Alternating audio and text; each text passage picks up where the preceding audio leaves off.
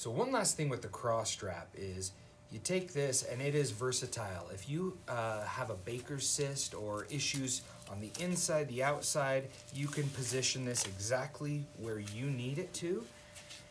You can get lighter pressure on the front or tighter or more pressure on the front pending where you put that cross through location. And again, Velcro, if it's too long, just cut the Velcro to size and then you could position it all over the leg where you need it most to create that true isolated pressure without adding, adding any foreign object.